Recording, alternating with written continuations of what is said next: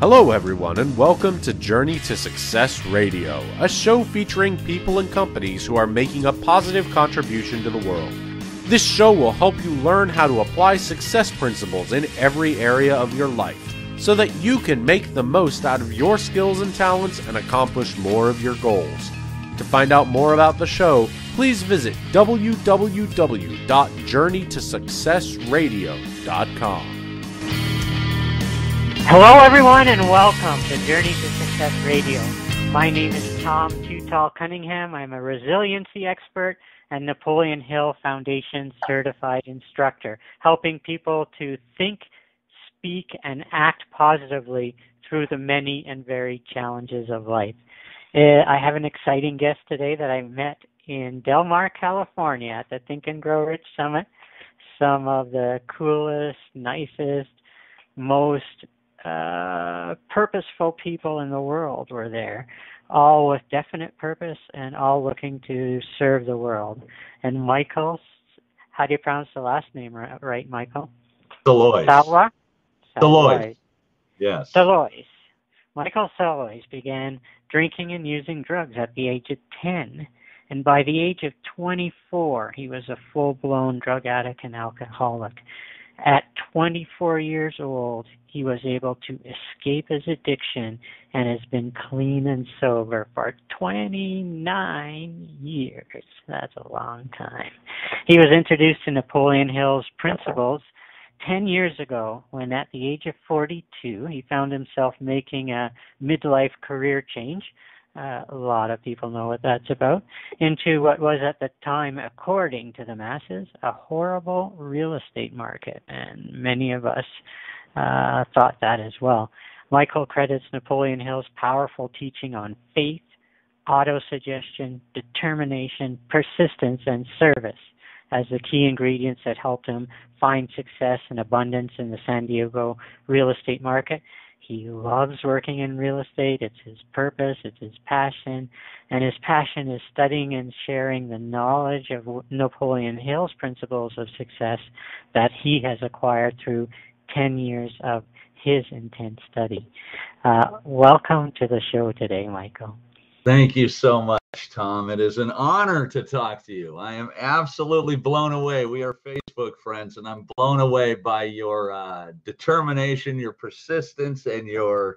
I kind of keep up with your workout schedule, so it's an honor to speak. it uh, when you get I find when you get Napoleon Hill people in a room or talking on the phone like we could make this show about probably seven hours. Nobody, not a lot of people listen that long, but you develop an instant friendship because even though you may use different portion of the 17 principles or in a different order, you still know about purpose and mastermind and faith. And so once you get people talking about that, uh, we got a lot to share with the audience. So yeah, uh, you were born you were born with club feet. I was born with club feet. I, you know, it's a, it was, I was two years old when they had them operated on. My parents had me operated on at that point, and uh, so I don't remember much about the situation other than I had one picture where it showed me in a waist high cast. And my mom used to tell me I was a terror because obviously, if you have a two year old with a waist high cast, you have some uh, work to do as a parent. Mm-hmm. And uh, you know, it didn't affect me. It it it didn't affect me because I knew nothing of it. So I went through and I grew up and I was eight and I was nine, I was ten, I was playing baseball, I was doing everything a normal kid would do. My mother did say I was lucky to be able to walk at that time because it was such a new operation that they had performed on me. But like I said, normal childhood up until the age of, you know, eight, nine, and ten, and then uh, as kids would do, it started kind of uh, I started kind of being teased about the way I walked. I wouldn't know it. I couldn't see it in myself, but I started getting mm-hmm. about it, you know, by other kids. So that started to wear on me a little bit. Uh, from that point on, I started looking for people who would accept me and not tease me. And uh, I found those people. Unfortunately, there were people who also did drugs and drank alcohol and that sort of thing. So I took a turn for the worst at that point in my life. you uh, said uh, something that uh, made me smile a lot. Is that you said you you didn't notice that you limped, but other people seem to notice. And I don't know if I shared it in San Diego, but one of the funniest things I find is watching myself speak on video because I'm like, wow, I really do limp a lot. Because I'm thinking in my head, like, oh, okay, I have a slight limp. You know, maybe people will notice I have a slight limp. But if I watch it on video, it's like, oh, jeez, I have a limp. And so it's funny for me to hear you say yeah, other people saw it, but no, I didn't see it. And then right. another story that my mom tells. My mom went for has been 20 plus years to Honduras on medical mission trips, and one of the stories about you know in Canada we have uh, universal health care, so four hips, four knees, and two shoulders replaced, and it didn't cost me money. Uh, and so in Honduras, she tells me of a boy who had club feet. They don't have that surgery there his leg, one of his legs was turned all the way around, so the front of his foot faced the back. And even when I tell that story, it just the visual of it is painful to think about. And so we we are blessed. You're blessed that they were able to do the surgery. Uh, it was new at that time. Uh, we're not young folk, you and I, so some of these things are being invented back then. Right, right. And you know what's interesting about your comment is is that now you look at it and and if we relate it to Napoleon Hill's principles, it's like somebody puts that in your mind. See, and the minute, you know, you you talk to people all the time these days, or I do, I talk to people all the time, and they have this vision of themselves. And it's all created by exactly what we're talking about here. Well, I don't know so much about you seeing yourself on video, but typically when somebody plants an idea in your mind, like, hey, you're different, Michael, then that is what I carry on and carry on and carry on. You know, I keep repeating to myself, I'm different, I'm different, I'm different. There's the habit developed from that. And it's right. very interesting that we're bringing this up and it's touching actually because it's, I mean, it's very sad to think I mean, nobody made me do drugs and alcohol from 10 to 24, but once at the base of it, once that got inside of me and I started repeating that to myself, uh, I had to do something to to make it go away. Is what I felt like, you know. Right, right. Yeah, yeah, and uh, this is like the uh, the basis of Napoleon Hill's work is thoughts are things. And it's easy to get distracted to the negative and bad things in life. Uh, our brain, if not purposely focused, will lure us into all kinds of things that we should not do. And so, uh, when you're able to control those 60,000 daily thoughts to a pre chosen purpose, mm. uh, tell me what that does for your life because it changed your life around learning these principles, didn't it? Well, I'll go to your Facebook feed when you're doing your workouts. You know, I play baseball still. I'm 52 years old. I threw 200 pitches on Sunday. And interestingly, what I pay very close attention to in my life is that first thought in the morning. I wake up at five o'clock every morning. I'm a realtor. I don't have to get up at five o'clock every morning, but I have developed the habit of getting up at five o'clock every morning. And not every morning when my first thought is not tuned to, especially after playing baseball, it's not tuned to, I feel great. I'm alive, I'm awake, and I feel great. So I catch that thought right there. And taking that to the gym with me is I need to change whatever's going on, like my shoulder hurts or something like that. And so when you talk about thoughts or things, uh, valuable, invaluable piece of information that when I really understood, when I really understood what it meant, what it did was it attached a responsibility to me. It attached a value to a thought, and then it attached a responsibility to me to be very, very aware of what thoughts are going through my mind at any given moment. And one really clear, specific instance of that was I had started to have a little bit of success in the real estate market. So I had more money. I made 30,000 bucks a year for, you know, raising my kids for 15 years. And then I had gone into the real estate market. I started generating some money. So I had more money than I knew what to do with at this point. And I'm sitting in my car at a stop sign. And I tell people this too to kind of because it was my point where I saw everything was good in my life, Tom. You know, mm-hmm. everything was good in my life. There was nothing wrong with my life. In fact, I was driving to the gym at the time. And at that stop sign, all of a sudden, a thought came into my mind Did I pay that bill? And it was almost like I shivered from this thought. It was almost like a fear came into my mind. Then something else followed it Are my kids okay? You know, and it was almost like it was floating through the air and I could actually touch this. And mm. when I had that moment, I saw what I did was I started repeating the word love to myself. At that mm. moment, I understood that I needed to flood my mind bring to the top of the file cabinet, if you will, thoughts that I wanted in my mind and not allow that empty space to be in my mind. Because if I'm not watching it, it's going to be filled with something, and that something is going to be negative if I'm not injecting positive into it. Now you're getting me excited. You're talking my language. You're talking my language. And you have to pre choose those thoughts because, as you said, hey, people are going to be surprised. Two of the most positive guys people that I've probably ever met, you and I, they're like, I think talking about actually having negative thoughts. We're human too, man. You know, traffic annoys me sometimes. Bosses annoy me sometimes. Uh, uh, I'm married, so that acts a cause for annoyance sometimes.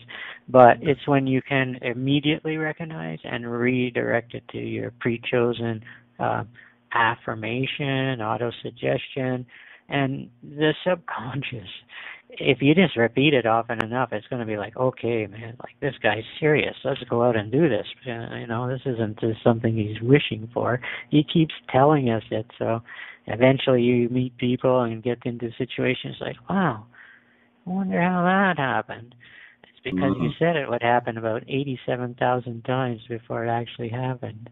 Uh, yeah, yes, totally agree. And, you know, lately I've been focusing on the word flooding my subconscious mind you know flooding my subconscious mind and not allowing any space for the negative show up. And it's interesting um, when you when you talk about situations that are going to come up interestingly enough i'm starting to notice how i affect those situations prior to even going in depending on what my mind was doing prior to going into those situations. You do. Your thoughts do influence people without a word being said, is my belief. Mm-hmm. Napoleon Hill's belief as well. Yep, your thoughts, and that also creates your body language. And you know, a lot of times you positive people, I can recognize a positive person, right? So it's like, yeah, yeah, that guy's, you know, he's, and so it reflects. Your thoughts reflect around you think uh, I think I saw a video recently with some scientific proof that I think within nine feet of you, around you, uh, your yeah. thoughts, the energy of your thoughts go out. And so, auto suggestion, affirmations, whatever you have to do. Uh, you know, I have two or three of them, and I can immediately. I don't have to notice the negative thought and then think, okay, what should I think about instead? I just immediately go to one of the three and just turn off whatever I may be listening to, say them out loud, whatever it takes. But that if sixty thousand thoughts, I don't want to waste too many of just like being upset or negative uh, over life's little petty, silly things. And so you must have affirmations, auto suggestions where you know people think you're singing in your car, but you're probably actually telling yourself an affirmation. Ah, well, you know what? Yes, and mixed with passion and feeling. So when it is that, I am a great real estate agent screaming out in my car.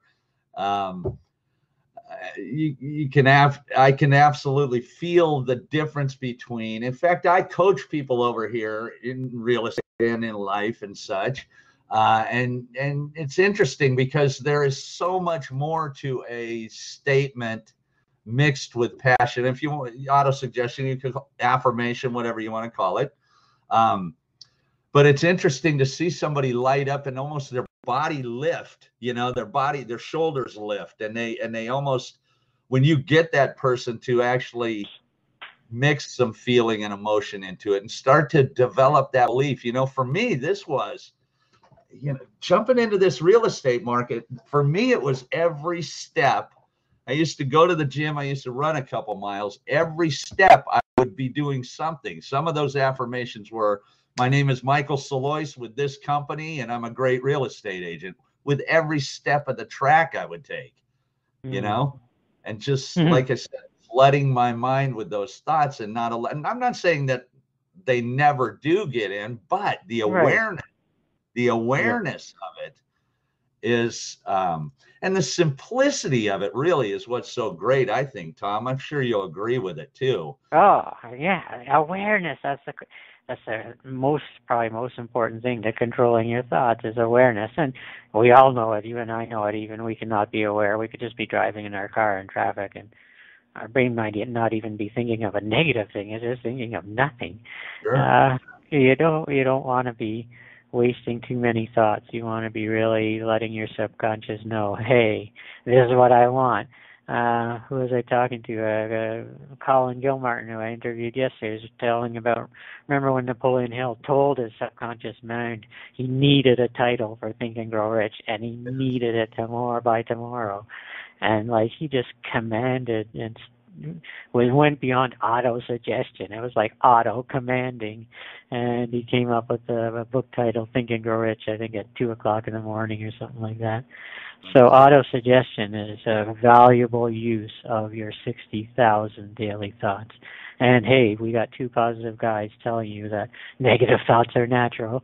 We have them too but the quicker you can be aware of them and the more automatic your affirmation where you don't have to think think think think what am i going to say instead the better it's going to be for you.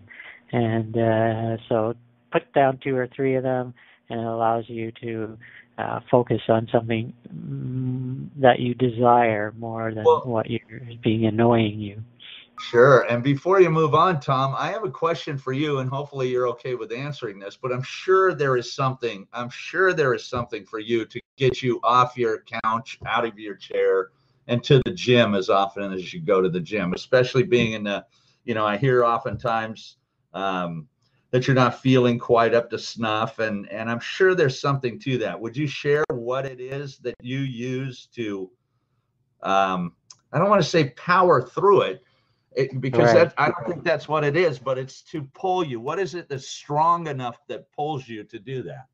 Right, exactly. And here's one of the you know keys that people have to look uh, look at is that if you decide that you are going to do something and it is a positive thing and a good thing, one of the 17 principles is maintenance of sound health.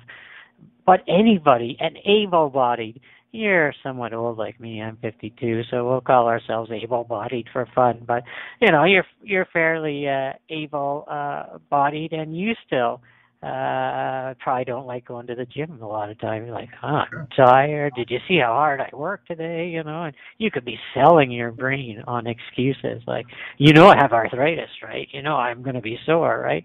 Uh, you know, I'm already sore, right? I'm like, yeah, yeah, that's true. Maybe I shouldn't go tonight. But you know, when you're sore 24 7 every second of the day, you have an excuse all the time. So I had to make a decision that I'm going to go because I set the one how many times a week I'm going to go, and I'm going to go, and I'm going to consistently go, and I'm going to go over a long period of time. And I have to do that by ignoring how I feel at the time. Uh, yes. because I have I have built-in excuses that I could just use every day. Well, I didn't go yesterday because I was sore, and I'm just as sore today, so I think I'm taking today off too. So you have to like really decide if this is uh, part of your purpose, part of the 17 principles of success. You can't just pick and choose two or three of them and say, yeah, I like those ones, but yeah, going the extra mile, screw that one. I don't want to use that one. How about self-discipline? No, no, I don't want that one you have to put them all together. And so I decided I'm going to work out. And uh, sometimes I don't feel like it before, after, or during, but at least I know I went. But I bet, like you, have had this where you didn't feel like going the most, and when you went, you had the best workout of all time. Absolutely. So beautifully said, Tom. So beautifully said. Definiteness of purpose. Look at you. This is why I am so honored to speak to you This is such a rare conversation, and nothing will stop you from getting what it is that you want. And that's Napoleon Hill's teachings, exactly. And the only thing getting in the way from getting what we want is you. And you just told me, you just gave me the roadmap for overcoming any obstacles to get what it is that you want. And that's such a beautiful thing. So thank you for right. sharing that. Ignore your emotions. Go with it. Go with what you already decided you were going to do beforehand, and just ignore your emotions, and you will uh, benefit from it. So many times, I think to myself, "Wow, I'm so glad I came to work out. Like I feel so good, and this is a great workout." And so, yeah, you got to just do what you decide you're going to do. If it fits in with the 17 principles, go for it. Let's talk about a, a cool thing that you had suggested as a topic, and I smiled so much.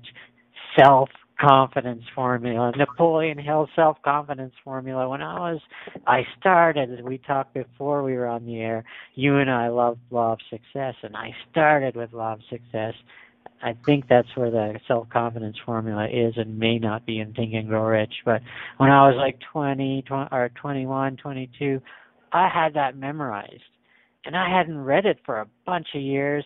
And when I came across it again three or four or five years ago, I didn't have it exactly memorized, but boy, those words were very familiar. I know that I have the ability to achieve the object of my definite purpose in life, number one, and then goes through five affirmations.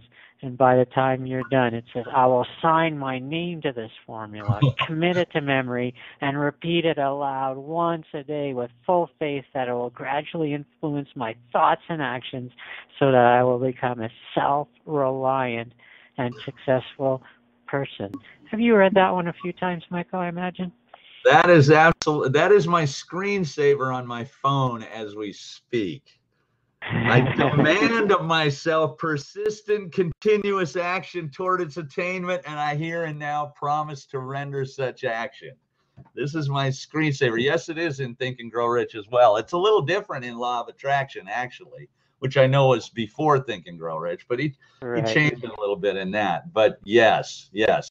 And interestingly enough, the more I study and try to memorize the self confidence formula, I keep it very handy. So it's not hard to uh, look at and continue to work on memorization of it. But the more right. I have it, the more I realize where not being confident in, in any aspect of my life leads to drifting, leads to lack of definite purpose, leads to many different things. So it makes me fully aware of how important this self-confidence formula is and that really any any lack of success can be attributed to directly to lack of self-confidence in my life. Yeah amazing. The second point we'll just tease people along with uh, some of these points. I realize that dominating thoughts of my mind will eventually reproduce themselves in outward physical action and gradually transform themselves into physical reality. this is all what we're talking about here, man.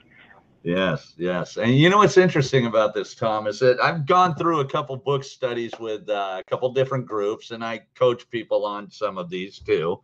And what's interesting about it is this I like to I like to label as the wax on, wax on part of Napoleon Hill's uh, teachings because here's here's why I say that. Because these are items where you run into many times you run into um, kind of hesitation when trying to get somebody to understand how important it is. These are the you, I'm sure you remember the Karate Kid and the wax on, wax off. Yeah, yeah. And, and he, it had nothing to do with karate. Okay, it really had nothing to do with karate. And how can memorizing these words on this book have anything to do with success? You know, it's very hard to put the two together. But most people, myself included for a long time, would not do the instructions given in Think and Grow Rich. And therefore, I would not get the benefit from it because it seems like, hey, yeah, it's okay. I but I already got this. You know what I mean? I've read it. I know what it I know what it says right there. But really, what it tells you to do is study this, read this every night. I think I, I'm gotta go back and look at it, but it, it's like every night until you have it memorized, until you can shut your eyes and memorize this.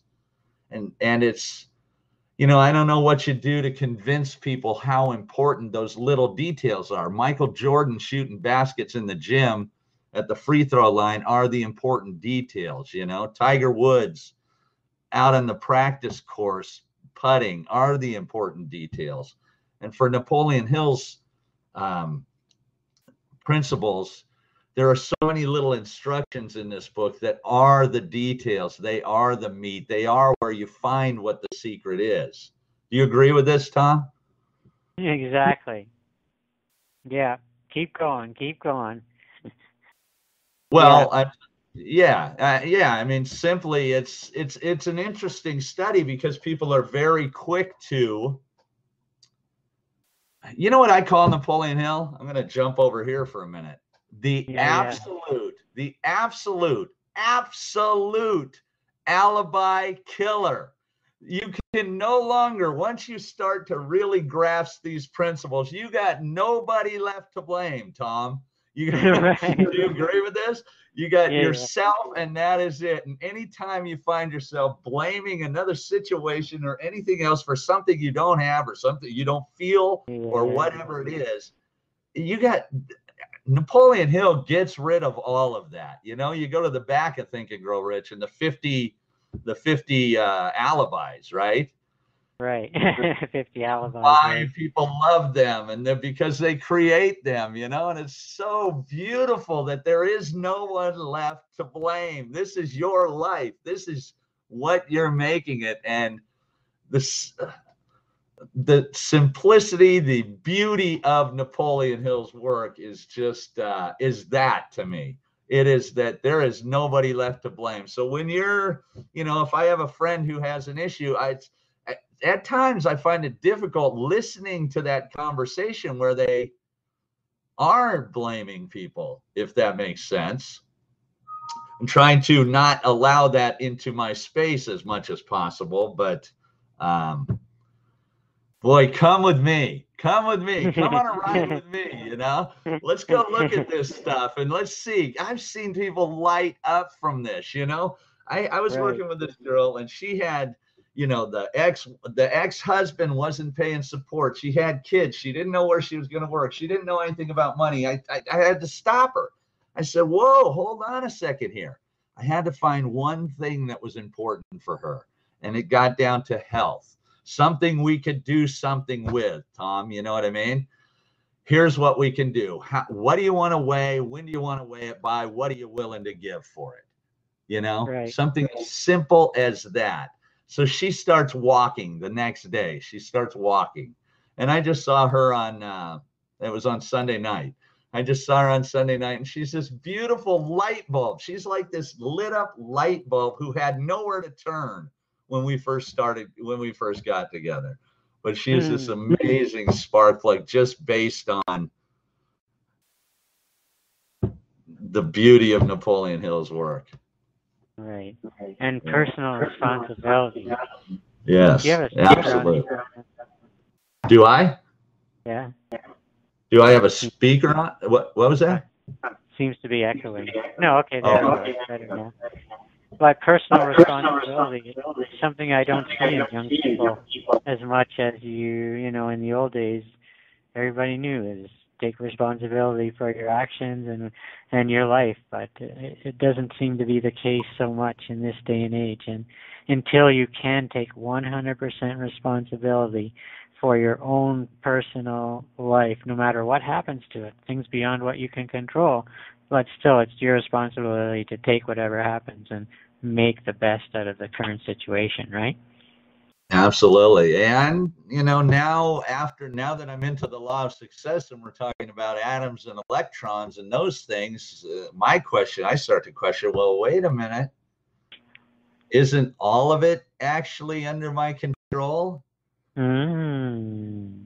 You know, it's it's a pretty intense subject. It's pretty deep because uh I mean, that is the, I don't even want to touch this because I'm not Yeah. schooled enough on it, but I am so excited to start looking into that. So, It, it, it's it's uh, pretty powerful when you think about the, and it's 60,000 decisions we get to make every day.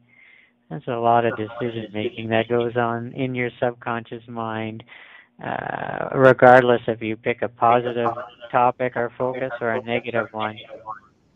You're making 60,000 decisions a day about what are you going to focus your thoughts on. And if we can grasp that and be aware of as many of those 60,000 as possible, uh, we are headed towards making some positive changes in life because we're recognizing thought by thought where we could be going wrong and redirecting our thinking and even if you just learn that the other 17 principles would follow naturally mm, yes, yes, absolutely. Totally agree. And I, I love when you talk about how many thoughts are going on in your mind. I love the file cabinet analogy that, that Yes, Nicole yes. Uses. Because let's say you go into a restaurant and you have to wait in line. Okay. Let's say, let's say you're just stuck behind a couple people and you're in a hurry. Okay. Whatever thought is at the top of your mind, most easily accessible, is going to be how you react to that situation. If it is based in love and peace and joy and happiness and whatever, if you flooded your mind with that, so that is at the top of it, chances are having to wait a couple minutes to get whatever it is you're getting isn't going to affect you at all. But if Right. it's if it's not attended to, you know what I mean? If those 60,000 thoughts haven't been attended to, then the reactionary thought is going to be the first thing you grab for, which is, you know, panic, fear, you're going to be late, whatever it might be. right. That's easily anger accessible. impatience Sure. you're hitting me you're hitting me in a hard topic and one that I had to really address my uh, with myself. Uh, uh, so now what I think is it could be my pastor or it could be my grandmother or it could be uh, well my grandmothers are passed away, but let's say it could be my pastor, it could be my mother, or it could be my mother-in-law who's in that car ahead of me, uh, Yes. or someone or someone who's handicapped. Uh, so I have to think, okay, like would I get angry at my pastor for not hitting the gas as hard as he could right at the green light. Uh, I hope I wouldn't. So it helps me now to when I am because I drive a sports car, I like to drive fast, and so sometimes when I think people are not following my commands, you know, I need to think, okay, this could be a pastor, or a member from church, somebody I know very well, maybe an old person. Uh, I would feel pretty bad thinking in my head what I might be thinking in my head, and and that's a choice. Remember, there's we're talking about choosing our thoughts. So I had to think, okay, what thoughts am I going to choose instead of hurry up, hurry up, drive faster? I'm going to choose, okay, hey, could be my pastor. Praise God, nice to see you, pastor. Uh, could be my mother. Oh, okay, mom, take your time. I'm right behind you here it really does calm you down if you pre-choose the focus of the thought on the areas that tweak you a little bit more than other areas. And driving driving in traffic is one of those ones for me. So i uh, that's what i use to be like okay you know cool it cool it as you said and i'm going to get there two minutes later um and you won't have insulted your pastor or your mother or your mother-in-law or somebody important to you. Yes. and that really helps. Or uh, in my case with my handicap, I'll you know often think of could be someone you know a severe handicap or you know having a hard time. And when you look at it that way, your emotions react a lot differently when when you think this person is purposely slowing me up. Hmm. people think I'm nuts. I go to the gym first thing in the morning and then usually in the afternoon sometime. And typically I'm just spending, you know, 15 minutes on the elliptical, 10 minutes on the stairmaster, work up a good sweat and I'm done, right? Right. But that time is so, so valuable for my mind. That is why I love it. I just go in there and sometimes I shut down and I just shut down to uh, to I do a lot of audio with Napoleon Hill, and I shut down to that, and sometimes I shut down to Led Zeppelin. You know what I mean? But yeah, yeah. The time that I spend in there, and the time that I'm able to just, um, uh, just think love. You know, think love. Sometimes I'll think when I'm when I'm playing with Zeppelin. Sometimes I think I'm on a stage. What what is it? What does it take to be on that stage and be you know, I went and saw the Stones here recently, and Jagger comes out, 60,000 people, all by himself, walking down the stage. What is that, Tom? What is that yeah. thing? You know what I mean? What is that thing he has to eliminate any fear from that and just be that human being? You know what I mean? And so and I'll throw Zeppelin on. Go ahead. You used a positive attitude and definite purpose to get into another concert too, that Cisco one, didn't you? I absolutely did. We made it in. I was right next to Steven Tyler of Aerosmith as well. So yeah, definite purpose is huge in my life. I, I got a great yeah. example of that. Uh, we have to talk about it. If we do a whole radio show about Napoleon Hill and don't talk about definiteness of purpose, we should be kicked off of uh, any talks about Napoleon Hill. So, definiteness of purpose. Michael, I believe the one I have is is if Jesus were sitting on the other side of my desk, and probably is at times, uh, I think he would give me the exact same document I've written down. Tom, here's why you're here. Here's why you're here. Get to it. Mm-hmm. and mm I really believe it. But the first time I went through the Napoleon Hill Leader Certification course, uh, it's part of you know the first time when I went through it, you have to write out your definite purpose over a period of time and think about it. And I wrote it, and Judy Williamson said, "Tom, um, that's not your definite purpose. You're trying to be Shane Morand from Organo Gold, and God put you on a different path and a different purpose." And uh, then it was like, wow, that is crazy. And then I thought of my purpose is to encourage and inspire people to live positively. But like talking about my arthritis is annoying to me. I already have it. I don't need to be talking about it. It brings back memories and pains and irritations and tests and things I didn't want to go through. But when look at what you've suffered and the adversity and you know whenever anybody speaks to encourage other people the feedback you get is like okay this was worth dropping my guard and sharing my pains and adversities and challenges because someone for at least a few days or maybe a long time is going to be able to live more positively through whatever challenge specific one that they have. And you know there's a million and eighty two different challenges out there. So if i can help someone just be positive through that challenge for a few more days a weeks months forever that's worth whatever pain i've gone through. I'll trade that anytime. And uh, you know there's a there's advantages to being handicapped. You get handicapped parking and you know all the nice things like that. Everybody's wishing they had my spot now, I got to mention that my wife doesn't like me saying handicap. She has a term, it's called handy capable. And mm-hmm. I'm pretty stubborn actually about handicap. I remember at an airport once, uh, there was two doors uh, to go through and to get into maybe security, I think, or the baggage. And the woman that side said, okay, go through that door. And she happened to point at the one with the handicap on it uh, sign on it. It was a bit wider, I guess, maybe for wheelchairs. And but both lines went to the same place, and I was like, I'm not going through that door. Nice. And I said, my wife's not handicapped, and the woman was like, Oh, well, I was just pointing in general. She said, both doors go to the same place. I was like, okay. So I walked around. I went through the other one, the non-handicapped door. Like, no way I'm going through that. and so, and when we park in handicap, sometimes it's beneficial. I tell uh, Kim, you know, limp a little bit so they know that one of us is handicapped.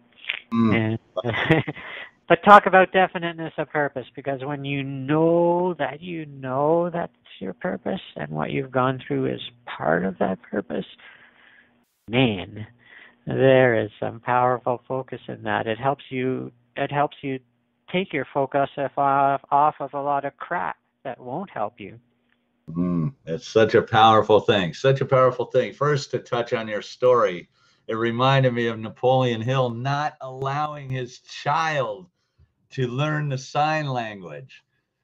He did not allow his child to learn right. the sign language. You remember this, Tom? Of course. Right, right. Yes, yes. Your story reminded me of that. It's like, well, because I mean, those labels, those labels that we put on ourselves and other people's put put on it, other people put on us. You know, there are in depression, Tom. What is depression? You know what I mean? How does mm. somebody shake? How does somebody go to the doctor's office get by this respected doctor get labeled as depressed and ever shake that tag? You know mm. think of that for a second you know? And whether they are they, it's, it's not it's real it's not it's you know i'm not to say but i know that i know this the label is real. Right i've had depression. You can't suffer 24 7 pain in numerous spots in your body for so many years without having periods of depression. But it's like you said, you don't want to take that tag and live with it. You want to understand that there are strategies that you can use, thoughts, words, and actions that will uh, get you out of it. Uh, and try those first, and they work. And depression is real um, I've gone through it. Probably you have periods, but and here again, two of the most positive people you meet talking about having gone through that. But we're real people, and uh, when you know that, okay, positive attitude, pleasing person, and all the different principles, and that you need to do certain things.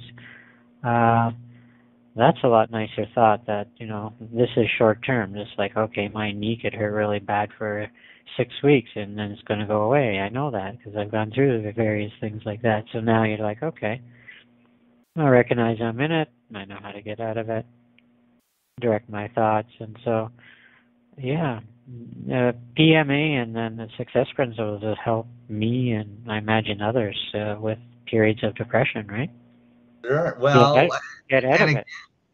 Yeah, absolutely. And again, is it? Uh, I mean, call it what call it what it. Again, my my conversation is basically about the labeling of the labeling of. I mean, right, can, let's, right, let's right. forget forget depression because I don't want to touch a sensitive subject. But let's use lazy. Okay, somebody tells you you're lazy. All of a sudden, you're lazy. Somebody, it's like the criminal. It's like the criminal and crime in in uh, in the book, you know, in, in Think and Grow Rich. Right. You know, the criminal comes into crime the first time, he abhors it, right? He can't stand it. What is going on, right? right. So somebody tells you you're lazy once, you know, then all of a sudden you start telling yourself you're lazy. All of a sudden you're lazy. You know right. what I mean? So my thing right. is like the labeling of it, regardless of what it is. It's like, no, no, no, no, no. You are yeah. what you tell yourself you are. It's know? like auto suggestion. Absolute Auto suggestion happens in the negative as well as the positive. Absolute, and that's how most people end up where. That's how I ended up where I was. You know what I mean? I told you I got teased once. All of a sudden, I'm different. I'm different. I'm different. I need. You know, I've heard. I feel bad. I'm different, right? right. And now I got to find somebody who doesn't make me feel different anymore, and that ruined my high school years. You know.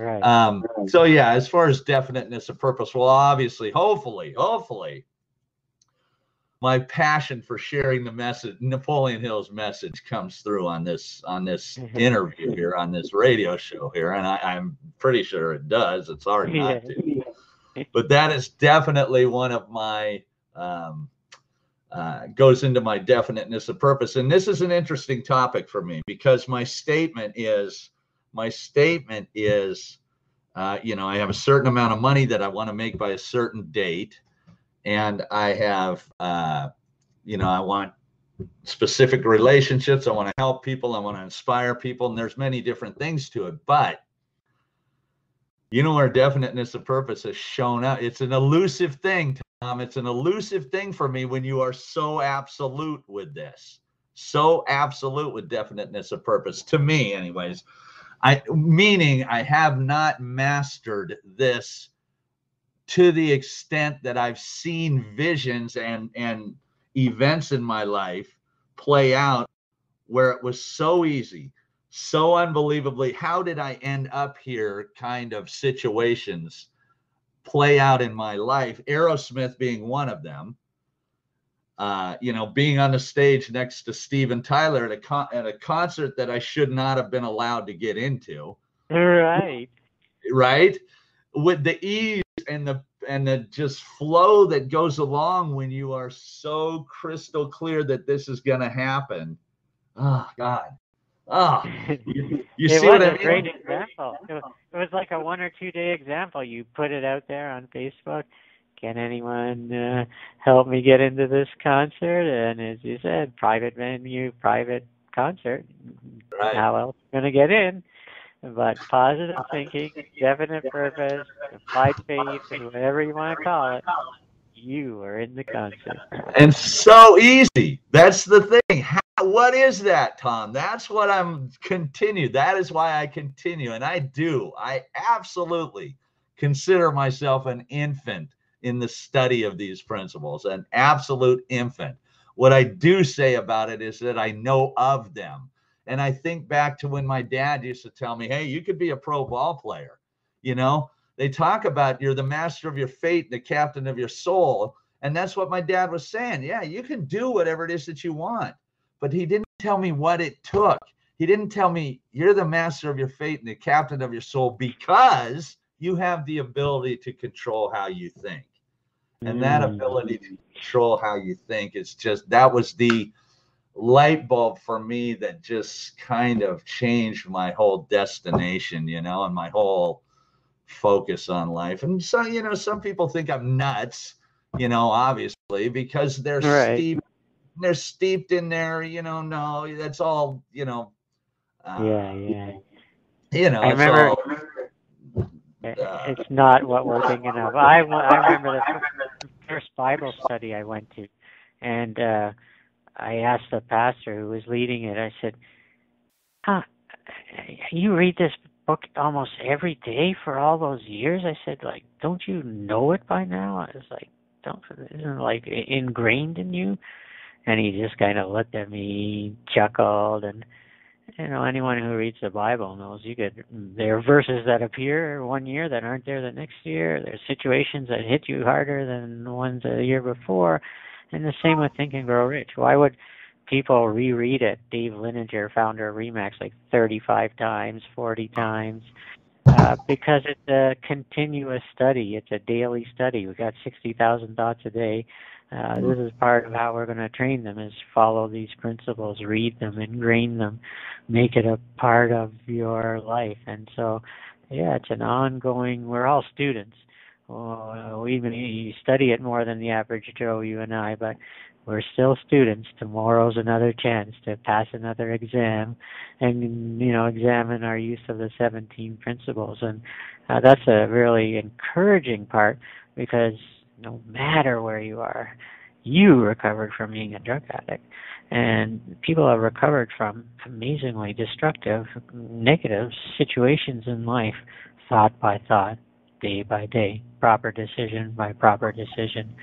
Um, and you know, if if if you can apply those principles, no matter where you are in life, at any time in life, and throughout your life, you're going to be on a more positive, focused, and directed path than leaving your thoughts and your reading and your knowledge to random sources. Mm. Which is, I mean, ultimately, let's let's that in itself can you can label as true success. If you don't have to suffer with anger, with fear, with jealousy, with rage, with you know, with any of the stuff that you have absolute control over, whether you allow it or not. If you don't have to suffer with that, is that not ultimate success for a lifetime? regardless of Mm, what financial what what you acquire Mhm. financially you know Preach it, boy, preach it. Exactly. You can have peace of mind and joy and purpose and focus uh, at any time. Uh, you, uh, it's totally up to you, and this is exciting news for people. So, Uh, oh man, you got me all excited here. so talk about life today. You uh, were in a bad situation in part of your life, and now uh, you're coaching clients, you're playing baseball, you go to all these cool concerts. Uh, I get tired just watching your Facebook feed. You're doing so many things. Well, I am very lucky. I'm very, um, I would say I don't need a lot to make me happy. So I like doing things that are simple and easy and, you know, and, and fun. I like having fun. And that's what, Yeah. and I mean, gosh, I sell I sell houses. Uh, I in fact I just closed one yesterday, and I get to go over. I wa- was over yesterday morning. I was handing out keys to a young couple. Um, so honored, so honored to be dropped into their life.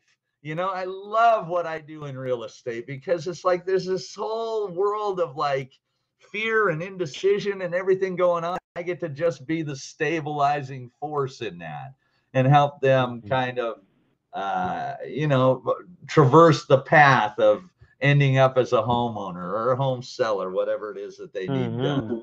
And then all of a sudden, you know, I dropped into their life, and then all of a sudden they get their house, and it's kind of like the relationship kind of flows away a little bit. I still stay in contact, but um, Mhm. but that's my job, Tom. Think of that. that's Yeah, my yeah. job. You know, oh, who could? We should all be so lucky. You know, we should all be so lucky. And I love. I have a passion. I'm a baseball player since I was a kid. You know, so about ten years ago, I picked up a ball again and found a team of guys that during the season I go out with on Sunday and I play baseball with them. And I love that too. I mean, I get to stand on a mound and throw a ball 60 feet, six inches to a strike zone and try not to get the, the thinking and the whole thing that goes on with pitching. I'm a lefty too. So I'm, you know, there's a little too much going on probably most of the time when I'm on the mound, but, uh, the competition that goes into that, you know, even though we're old, it's still I love to be competitive, you know. Right. And, Right. uh, Keeps you young. Absolutely, absolutely. And then, you know, ultimately to see, like I talked about Avi, my friend Avi, who I coach people, and she lit up like I just saw her yesterday. And, you know, she actually I saw her with her ex-husband, and he was all lit up too. So something she has done that I played a little part in and given given a piece to her to kind of light bulb in her has kind of changed the whole thing that's going on there with her family and then who knows where it ultimately ends up but but to be able to touch a human being like that is is again you know sell a couple houses here and there make some money but what is true success you know? And that the value that comes from knowing I played a little part see that's it you know, in real Mm. estate, I play a little part. These kids, you know, if they have kids, they're going to be raised in this home. And Avi, if that ever, whatever happens with that situation, she is different. She is different than when before when I met her. She has more information about the power that's contained between her ears and in her thoughts, you know. And, oh my gosh, I'm just so Oh. fortunate, so grateful. Look at, I get to sit here and talk to Tom Cunningham. You and by the way I, I don't know if i said this or not you said you didn't like to talk about your arthritis but i'll tell you what more than once you have inspired me and kept me going. So know that tom. Know that. When i when i feel And those things like you were talking about Before the show, we said, okay, let's try and do 30, 35 minutes. We're like 49 minutes in, and we could be talking another seven days and still be full of energy and excitement. Uh, Now, to, for people to reach you, like I know you have, you have an impressive Facebook group, Think and Grow Rich uh, Study Group. Is that what it's called?